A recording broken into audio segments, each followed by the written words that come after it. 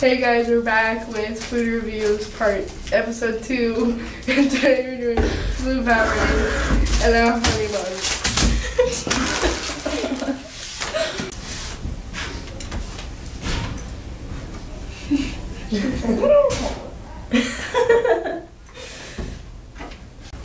now we're trying the honey bun and Sienna's gonna join us. So,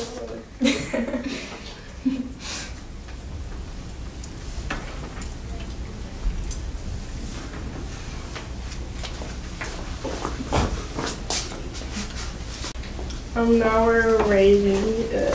Um, I give it a seven out of ten because it was like almost too sweet.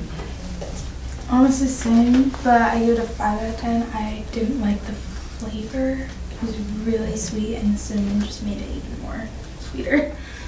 I'd probably give it, like Avery said, about a five or five and a half. It's really messy and really sweet, but not bad.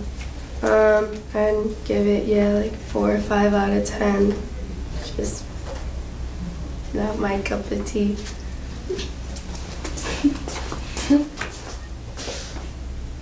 So now we're gonna be trying the blue Powerade Mountain Berry Blast.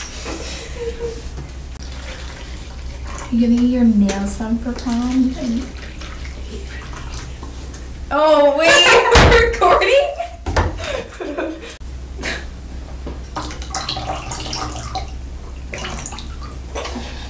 So now we're gonna try the Powerade Berry Blast.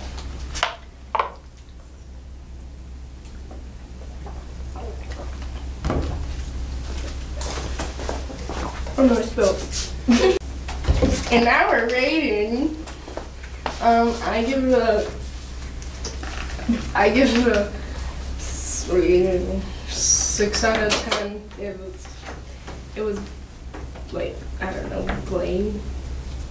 It didn't have like any flavor. Uh, I give it a 7 out of 10. I like Zero Powerade better. It's just not, it's not that great. I'd probably give it about a six out of ten. There wasn't a lot of flavor. It's kind of watered down. Um, I give it a three out of ten. They, yeah, like they said, there was no flavor at all, and it's just not one of my go-to drinks. Oh.